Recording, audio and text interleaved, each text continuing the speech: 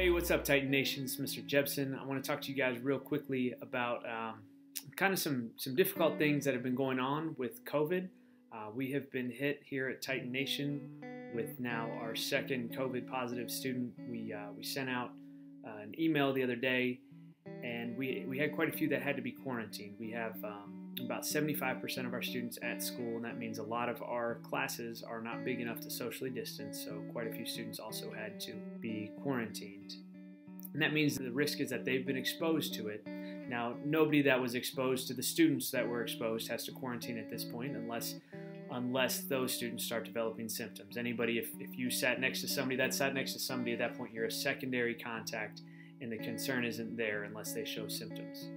Uh, I do want people to know one, our, our, thoughts and prayers and concern is out for anybody that is sick. This is a sickness that can be very serious, um, and so we just want to share that concern. I also want to share for the students that are here um, nobody gets sick on purpose. I know that the students that have dealt with this uh, are doing the right things, are, are wearing their mask all the time, at least when they're at school and around people, um, are, are, washing their hands regularly, are distancing when possible. I don't think that's it. And it's hard to track. Obviously, this is an invisible disease, and so it's hard to tell what causes it at any time. We can kind of go back and track and, and try to figure out where might it have come from. And they also track who might have been exposed, and that's the reason for the quarantines. If you haven't experienced that, I just I kind of want to say what that's like. Um, I know it bothered some students when they saw their classmates get called to the office and not come back. Uh, those people aren't in any trouble, but kind of the way it works is uh, timing is really important. So, as soon as we find out that somebody has been diagnosed positively with COVID, our district health coordinator, maybe an administrator, assistant principal, or somebody goes with them. And what they're doing is they're checking seating charts for different classes where that COVID positive student was um, and then they're measuring to make sure, hey, is this greater than six feet or less than six feet? Any cases that are less than six feet apart for more than 15 minutes, even with, and I know we're always wearing our masks, but even at that rate, those students have to be separated, quarantined. They they work from home as long as they feel healthy for the next little while.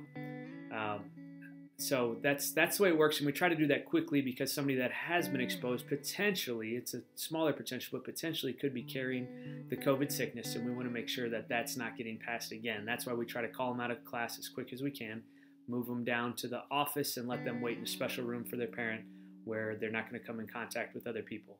Uh, it's it's no fun. This this isn't good, but it's the situation we're in now. I also want to encourage people not to blame anybody I, know there's been some negativity about, oh, it's so and so's fault that I'm out of school. That's that's not it. It's not their fault necessarily that they got sick. Um, same thing goes that, um, you know, oh, so and so let us down because they're in quarantine and they can't be on our team for X, Y, or Z. That, that's not it at all.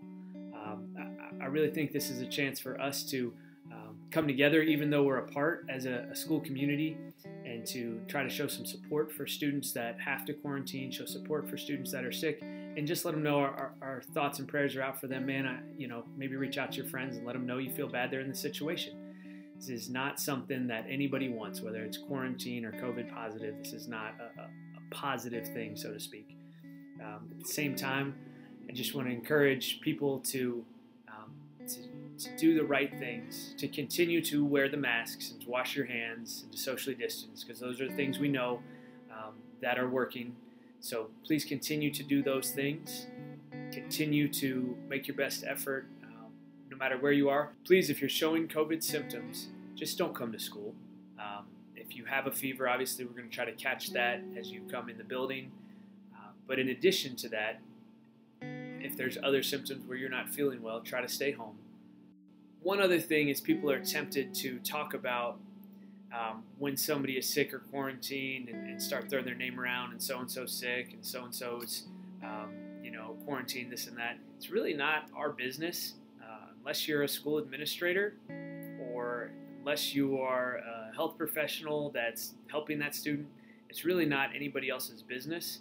And so that's where I, I need everybody to just kind of you know, tunnel vision for a minute. Again, if it's one of your friends, feel free to reach out to them and encourage them through what's probably a challenging time for them. But otherwise, do you focus on school. So let's keep doing the right things. And I appreciate all of you guys and your efforts. And I love you, Titan Nation. Keep up the good work.